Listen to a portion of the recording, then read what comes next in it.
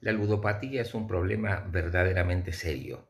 La adicción al juego es un tipo de conducta muy destructivo para la persona y para todo su entorno familiar y social. El juego compulsivo desata lo que llamamos el pensamiento mágico. La persona siente que puede controlar el azar, siente que puede torcer el destino. Simplemente lo que tiene que hacer para lograrlo es apostar de nuevo.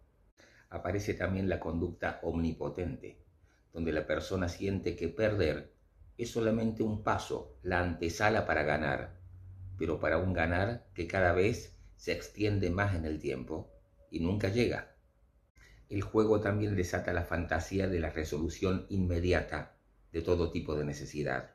Entonces, jugando, voy a ganar para solucionar en un momento todo lo que perdí. Necesitas ayuda si sufrí ludopatía.